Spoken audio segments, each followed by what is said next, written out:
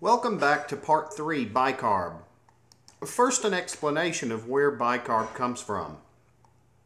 You might remember from part 1 how CO2 combined with water under the presence of carbonic anhydrase to form carbonic acid.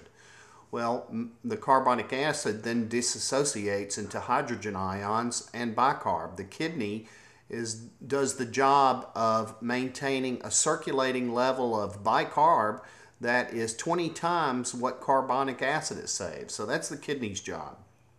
In fact, as the next slide shows, pH is calculated from the log of the bicarb level relative to the carbonic acid level.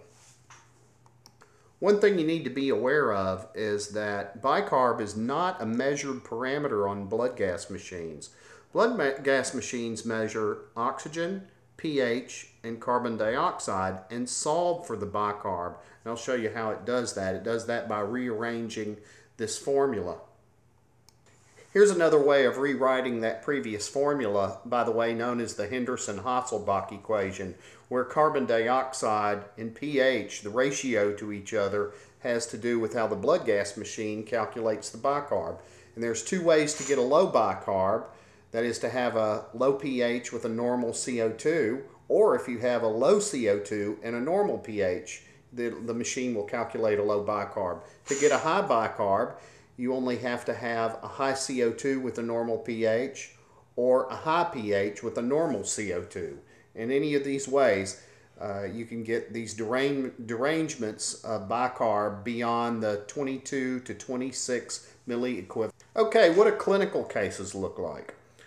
Re realize that bicarb can go down very rapidly and will do so in cases of uh, lactic acidosis.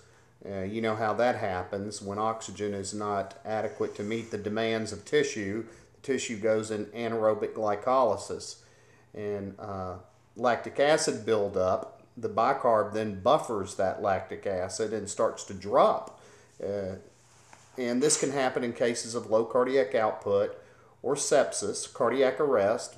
Bicarb can also go down rapidly in diabetic ketoacidosis, and it can go down in renal failure. What about those cases of elevated bicarb? Bicarb will go up to compensate for a chronically high PCO2. You have to realize this is a very slow process. It's a slow process of the body shedding hydrogen ions and retaining bicarb. And this can take a matter of uh, weeks in the case of a COPD patient who's chronically high, it probably happened over a matter of years. Uh, so the compensation for bicarb to compensate for CO2 is a relatively slow process. Uh, one rapid way to get too much bicarb is for the physician to give you too much. Notice I said physician induced, not respiratory therapist induced. And back to the last slide. Well, that's it for bicarb. Come back next time when we start talking about putting it all together and looking at the acid-base status as a balance between CO2 and bicarb.